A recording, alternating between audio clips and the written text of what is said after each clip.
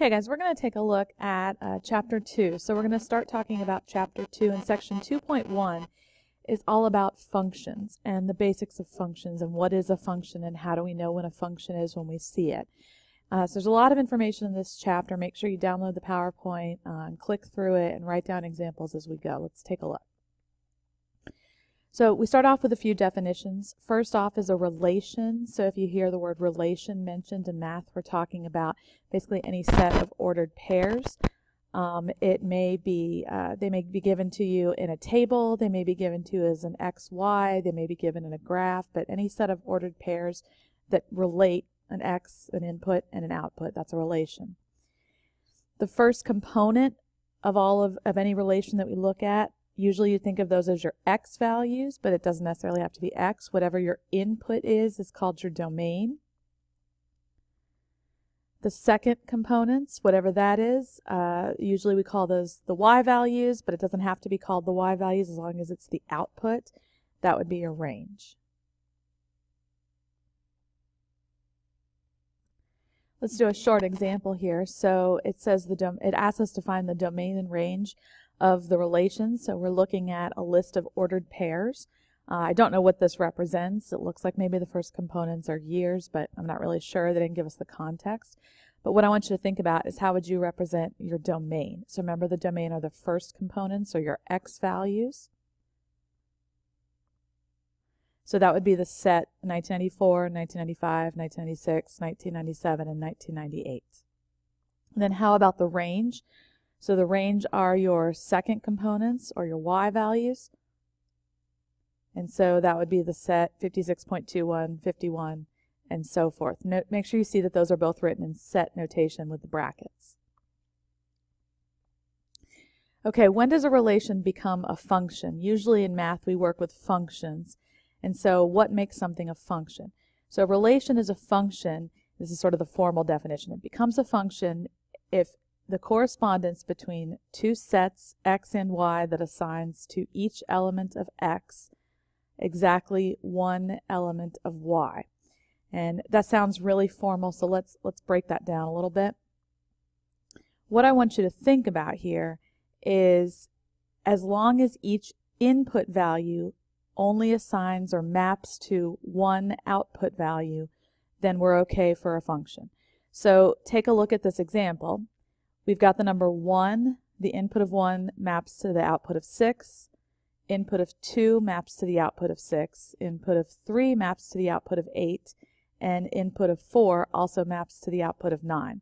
So think about, based on what we just talked about, does every input map to only one output? So the domain would be the numbers 1, 2, 3, and 4.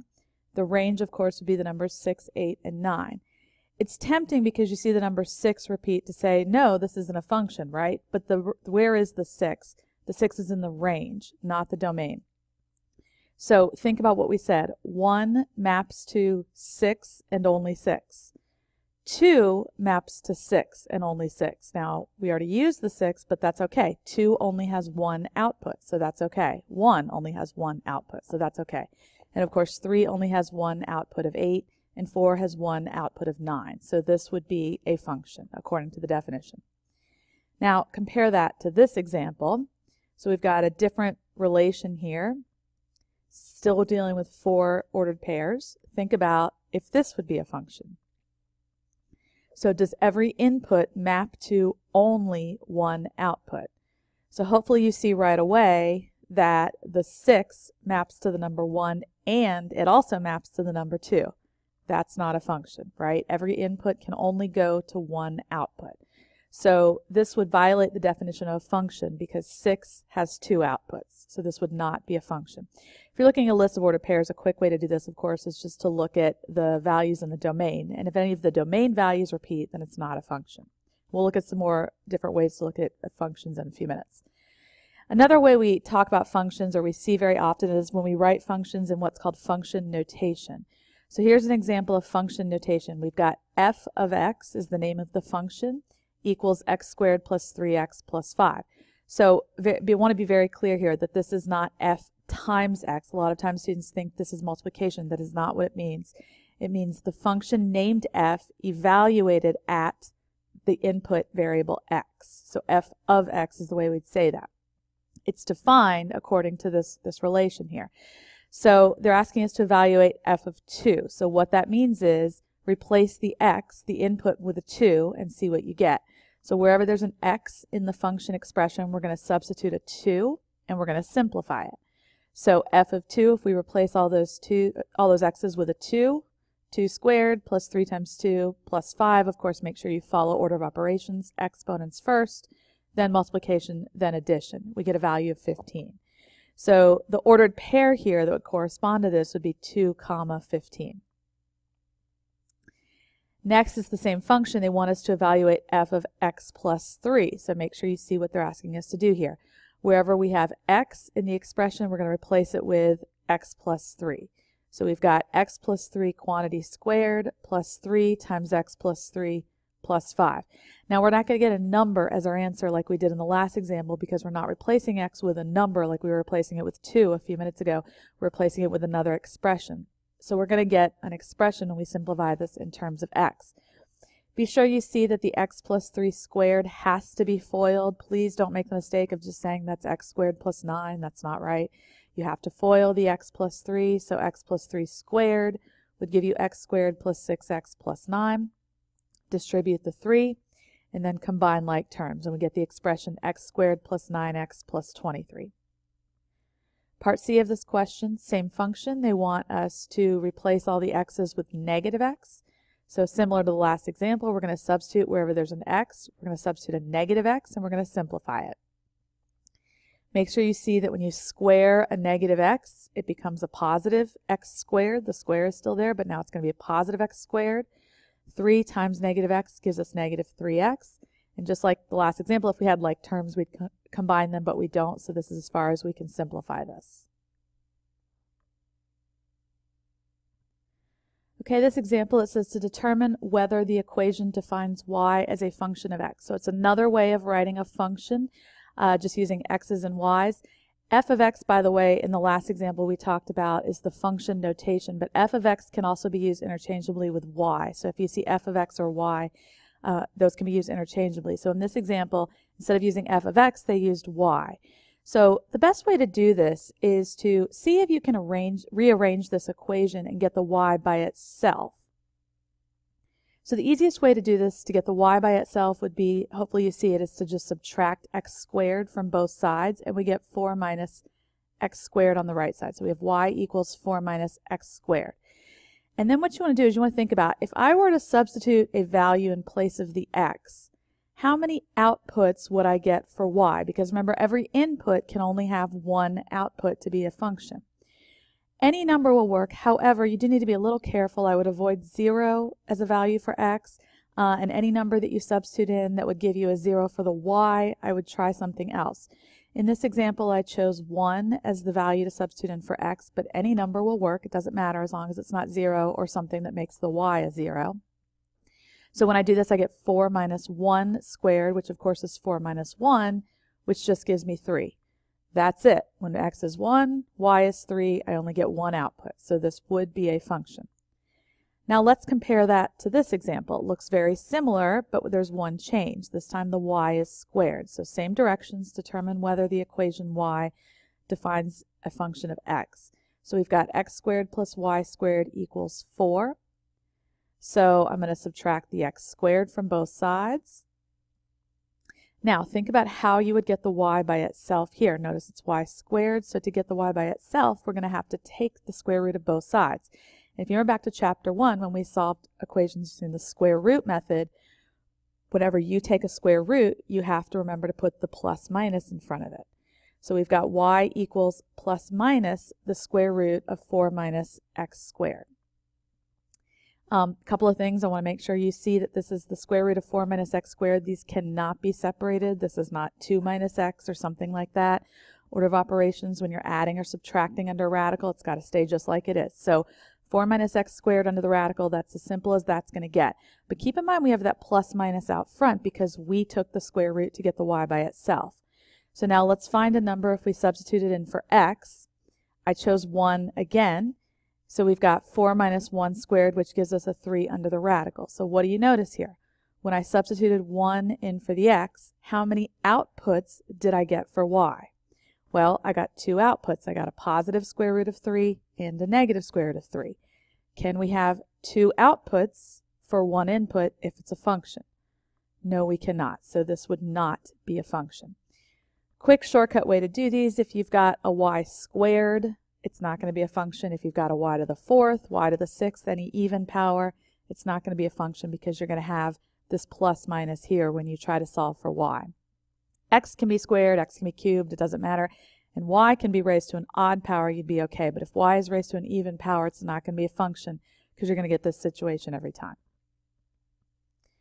Okay, another thing we're going to do quite a bit in this chapter is we're going to look at graphs. And so I want you to get good at reading a graph, knowing what the question's asking you to do. Half of this chapter is just really understanding what the questions want you to do. So let's let's practice that here. We've got a graph, a generic graph of f of x and they're asking us first to find the function values for f of negative 1 and f of positive 1. So remember what this means. This is function notation. They want you to look at the function value when x is negative 1. So I'm going to go to the graph and I'm going to go to where x is negative 1. So remember the x-axis is the horizontal axis. So negative 1 for the x value is here. I'm going to go up to the graph to where it meets the graph and I'm going to look at that point the points in blue I think are just there for emphasis, but notice that that one uh, at x equals negative 1 has a y value of what? Hopefully you see that it's 2. So f of negative 1 is equal to 2. The ordered pair would be negative 1 comma 2. How about for f of positive 1? We're going to go over here when x is 1, and we're going to do the same thing. We're going to go up to the graph, and the corresponding y va value there would be 4. So that ordered pair would be 1 comma 4. So f of 1 equals 4. Domain, remember domain we said were all of the x values. A lot of times we're going to answer these in terms of interval notation. Remember interval notation from the end of chapter 1. So we're going to look at, if I want the domain, I'm going to look at the leftmost x value on the graph to the rightmost x value. So the leftmost x value here is negative 3. I think in this graph the white circle is meant to be an open circle, so that means we don't want to include negative 3. So think in interval notation how we would signify that. If we don't want to include the number, we would use a parentheses. Here it is, negative 3 in parentheses. The rightmost x value we said was 6, and I think that blue means they do want us to include that. That's a filled in circle, so we put a bracket around the 6. This other notation here you see is called set builder notation. You may see this in the homework questions. Um, I personally prefer interval notation. I think it's more useful, but set builder notation does come up once in a while in the homework. So if you see it, it reads x such that is what that bar means. X goes from negative 3, no underline there, just x is greater than negative 3, and less than or equal to positive 6. Now for the range, the range are the y values, so we're going to look from the lowest y value to the highest y value on the graph. So the lowest y value right here would correspond to negative 4, and that's an open circle, so think about what that would look like in interval notation. And then the highest y value, if we go up, occurs at positive 4, and that's filled in. There's no, no hole or anything in the graph there, so that would be a bracket. Let's take a look. Here it is. So interval notation goes from negative 4 to positive 4, parentheses and then bracket. And then set builder notation, notice they use a y this time because it's referring to the range. Last part of this PowerPoint, we're going to look at something called the vertical line test for functions. You may have seen this before. Um, it's a very easy test if you have the graph of a function or graph of a relation, I should say, and they ask you if that relation is a function. A quick way to do that is to draw a vertical line through the graph. You may have to check it in a few different places, but if at any of those locations you see that the vertical line hits the graph more than once, then it's not a function because each input would have, or that particular input would have two outputs. Let's, let's take a look. So look at this, these four pictures here. They're asking you to use the vertical line test to decide which graphs are a function. So the first graph, we have an ellipse. So hopefully you see if we draw a vertical line at several places in the graph, it would intersect the graph twice. So that would not be a function. Notice right here, it violates the defini definition of a function. This input, this x value, would correspond to two outputs. That's why the vertical line test works, so it's not a function. The second picture, we've got a diagonal line with a positive slope. And so if we draw a vertical line anywhere through it, it's only going to hit the graph once. So we are okay, that is a function. Third picture, if we draw a vertical line anywhere through it, again, it's going to hit the graph only once. So it does not violate the definition of a function. So we're good to go there. The last picture, if we draw a vertical line through it in several places, again, hopefully you see that the vertical line hits the graph more than once, so then it would not be a function.